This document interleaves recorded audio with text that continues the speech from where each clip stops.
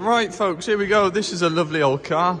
The Talbot, I believe, I think he just told me a 75. I just had a quick word with Grandad. Uh, is obviously they're more his sort of thing than myself, but I'm going to show you around anyway. And when he uh, when he gets chance, he's out in the lorry at the moment. We're going to go go around it and uh, do a bit of a better video. But I thought I might as well just get one on for you guys to have a quick look round instead of just trying to go off the photos.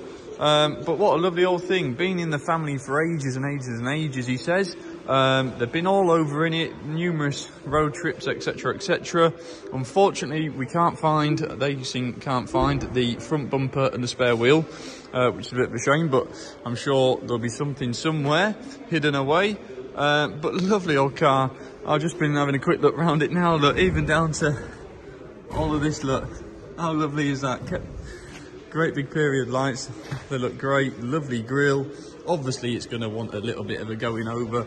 Uh, engine hasn't been run for some time. That's going to want a little bit of fettling with, you know, and not pristine everywhere. But uh, truthfully, I'll keep it as it is. Yeah, I give it a good clean and literally run it as it is if it was me. But um, anyway, that's for the ne next man to decide. Um, but even this look on the back, look, I think it's great. Look at all that. I think it's lovely. Very, very nice. Lovely looking old car. Oh, it's a job to know what to do because it looks lovely as it is, but at the same time it would genuinely look a million dollars, wouldn't it, with a fresh, you know, coat of paint and things, and it is a job, job to uh, to know what to do with it really. But um, yeah, what a lovely old thing. I won't bore you too much. I'm only just showing you around it quickly. I'll do a fresh one with Grandad when he gets back lovely dashboard and stuff. The wood's very good inside. Door cards are lovely. Gonna want a fresh set of carpets, no doubt, I'm sure. Beautiful headlining look. Oh, you that a little bit damp just in that rear corner. That'll probably wet back out.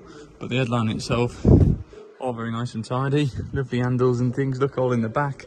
Lovely rear seats. Smells lovely in here. Really good. So yeah, I just thought I better show you around it just quickly whilst I'm here and I got it out. So, um, but to be fair, better still come down and have a look for yourself. Obviously it's down here on display at Pickering. Still got a few weeks now until the February sale. So uh, yeah, please do get yourself down, have a nosy and see what you think. But um, in the meantime, if you can't get here, I will do a fresh video with Derek when he gets back. So um, there you go, but lovely old car. I think you get the gist. So uh, there you go.